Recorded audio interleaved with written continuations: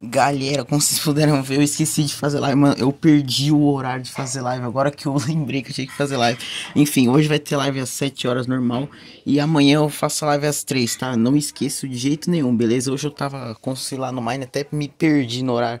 Meu Deus, foi me desculpa mesmo, galera. Mas enfim, hoje tem live às 7 horas normal, como todos os dias. E amanhã a live das 3 às 5, beleza? Falou, gente. Até 7 horas.